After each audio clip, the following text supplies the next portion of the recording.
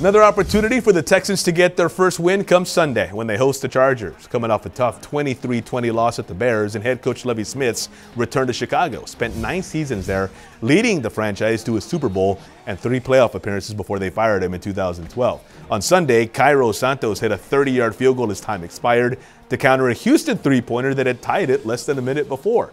The Texans tied the Colts in their only other home game, the opener, to this point.